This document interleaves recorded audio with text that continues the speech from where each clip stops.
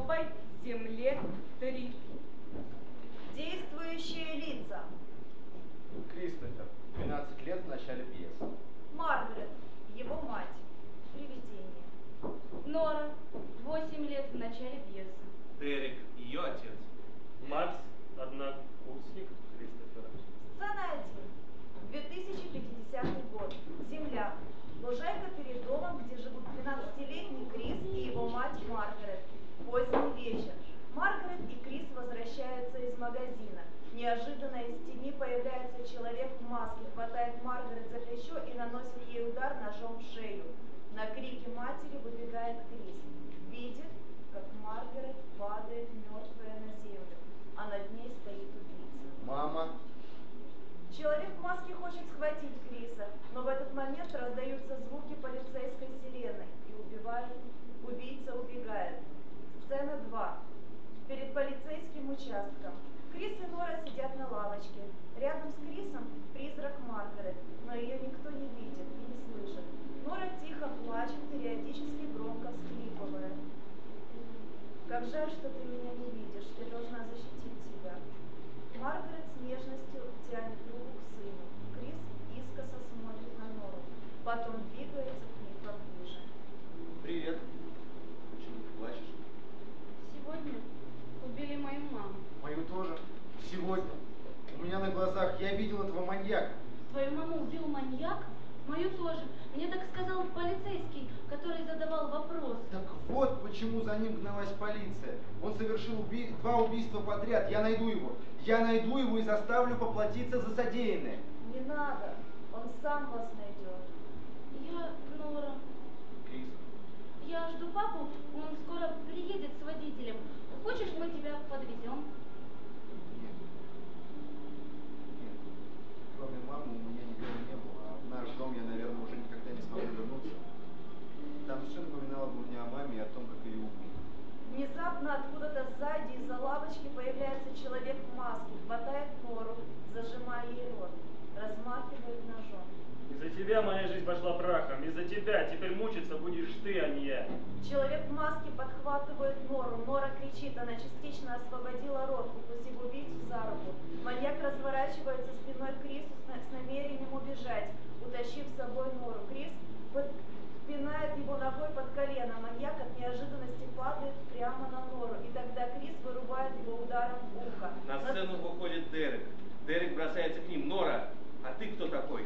Это кто показывает на маньяка? Что тут происходит? Папочка, папа, это тот мужчина, который убил маму. И у Криса маму. Дерек смотрит на Нору, потом на Криса и бросается к маньяку с явным намерением избить. Но тут он понимает, что на него смотрят двое маленьких детей. Усилием воли опускает руки. Маньяк, воспользовавшись случаем, вскочил и метнулся в сторону от Дерека, одновременно достав из кармана какое-то странное устройство, напоминающее пульт от телевизора. Дерек бросился за ним, но не успел догнать, так как маньяк исчез. Он исчез! Растворился прямо в воздухе. Как такое возможно? Ты, Крис, ты спас мою дочь. Этот маньяк был довольно неуклюжим. Да, папочка, Крис совсем один. Э, Пусть он будет жить с нами. Хочешь, я возьму тебя к себе? Будешь жить с нами и учиться. Все же лучше, чем в приюте. Спасибо. Сцена 3. Пять лет спустя. Аэропорт. Крис с чемоданом его провожает Нора. Пять лет. Это слишком долго. Я же буду без тебя совсем одна. А твой отец? Папа меня любит, но ты же сам понимаешь, он всегда занят на работе, а женщины, женщины, которые к нему приходят, всегда говорят гадости про меня и маму. Учеба за границей, высшее образование, новое открытие. Я смогу сделать науке. Но я обещаю, я вернусь к тебе, и мы будем жить долго и счастливо.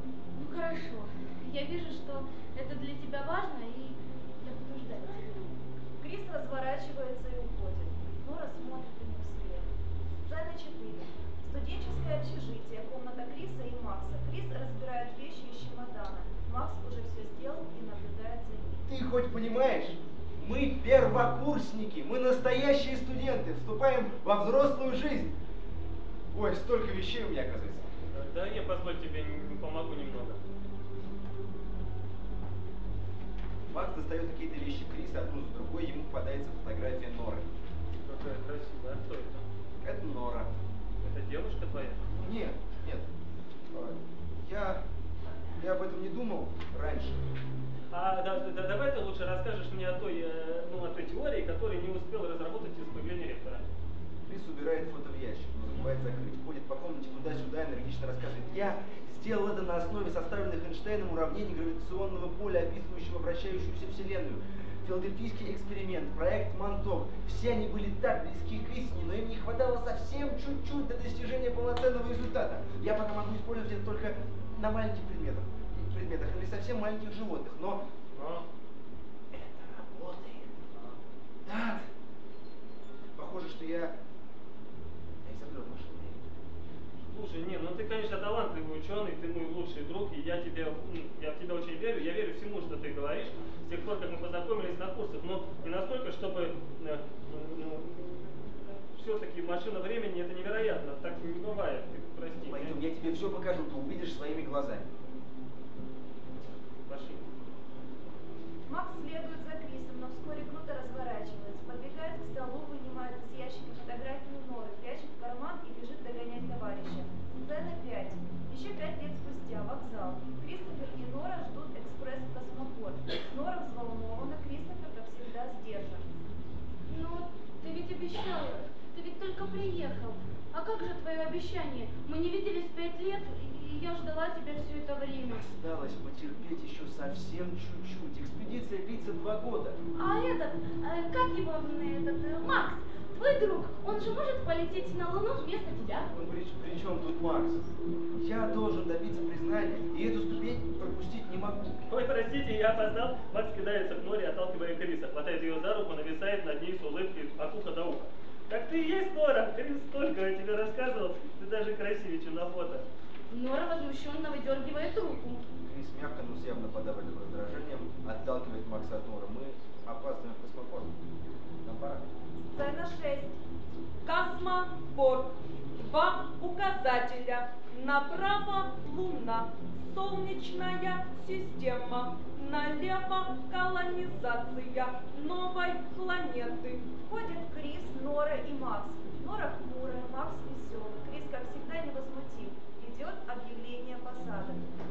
Экспедиция по изучению лунного климата. Полет оба конца. Участников экспедиции просим взять вещи с проверки. Я быстро. Крис уходит. Колонизация новой планеты.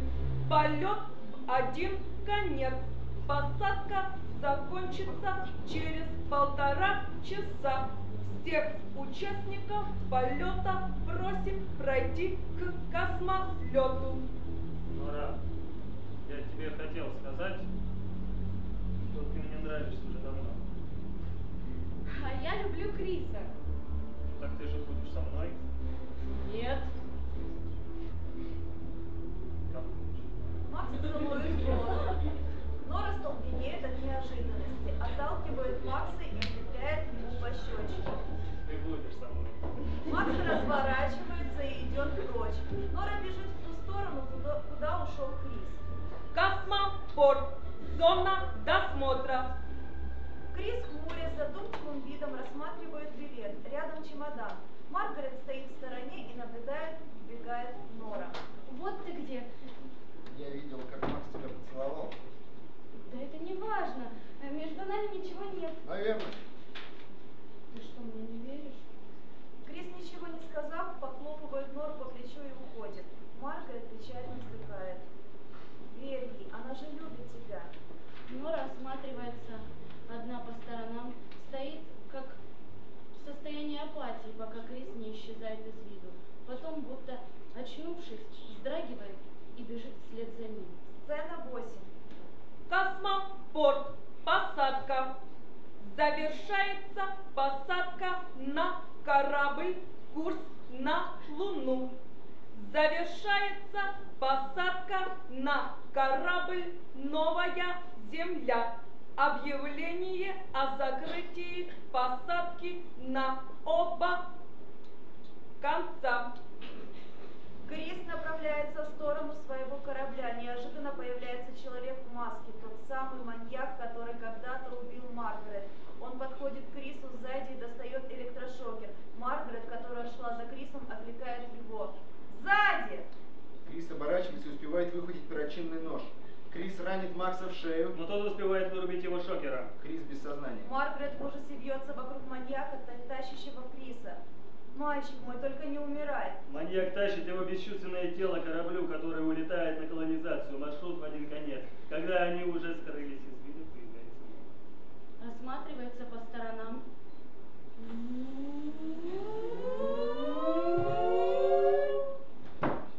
Закончена посадка на рейс «Новая Земля». Нет! Не успела. Но неужели я никогда больше его не увижу? Нора падает на колени и, закрыв лицо руками, рыдает. Сцена 9. Спустя год. Похороны отца Норы. Кладбище. Макс провожает Нору к машине. Твой отец был очень хорошим человеком. Мне кажется, что мы должны выполнить его последнюю волю. Я не выйду за тебя, даже если это его воля, даже если это поможет развитию нашего бизнеса. Но я люблю тебя. А я люблю только Криса. Я всегда любил тебя. Ты вообще уверена, что твое чувство взаимно? Когда я спрашивал Криса, есть ли между вами что-то, он сказал нет. Тогда я разыщу его и спрошу об этом лично. Но это невозможно. Где ты будешь его искать? На Луне? Да, на Луне! Да чего ты, блин, взяла, что он там? В смысле, в смысле, из чего ты взяла, что он жив вообще? Может, он погиб или уже степенился где-то там, на другой планете, а ты прилетишь и останешься э, там жить на месте? Что? Я найду его. Чего бы мне это ни стоило. Сцена 10. 20 Космопорт новой планеты. Первый полет на Землю. Маршрут будет пролегать через новую Землю 2 и новую Землю 3. Не упустите шанс вернуться на родину или взглянуть на родину своих родителей. Крис стоит в ожидании посадки, постаревший, следами тяжелых испытаний на лице. До сих пор не могу поверить, что теперь есть возможность свободно путешествовать по всему космосу. И мой лучший друг прилетит ко мне. На сцену выходит Макс, тоже постаревший. Крис разворачивается, и они спешат навстречу друг другу. Крис почти обнял его, и вдруг замер. Он взглянул в глаза Максу и остолбенел. Шрам. У тебя на шее. Макс злорадно ухмыляется, отходит на шаг назад. Правильный ход мысли. А все благодаря тебе. Машина времени. Так ты добрался до моего проекта. Да, и в результате несколько лет труда машина времени полноценно работает. Ну, ну, то ты... Как ты... Поздно о чем говорить-то. Я уже вернулся из прошлого, я уже убил и Маргарет, и мать. Ну, зачем? Ты мог просто убить меня. Если бы я убил тебя, то не познакомился бы с Норой. Это была бы месть. Нора не досталась мне. Она любит только тебя. Грандиозный научный проект тоже твой. Моя жизнь пошла бы прахом после того, как Нора меня отвергла. Ко всему виной ты. Теперь твоя очередь страдать. Макс достает оружие, лазерное, но тут появляется Маргарет в мантии, скрывающей лицо. Мои последние дни пребывания в этом мире. Наконец-то я имею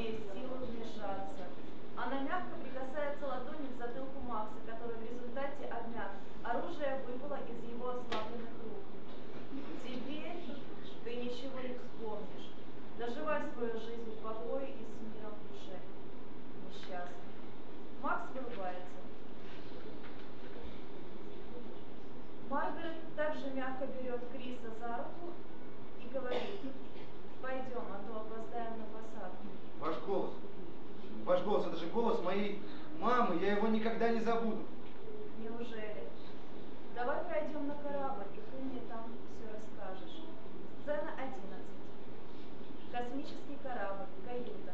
Маргарет по-прежнему укутанная в мантию и фриз. Следующая остановка. Новая Земля 3. Вы садите на этой планете? Да, мне пора. И все же история, которую ты мне рассказал, кажется очень знакомой. Не совсем понимаю, о чем. Слышала я историю одной женщины. Ее возлюбленный был подло отправлен в путешествие в один конец. Она положила жизнь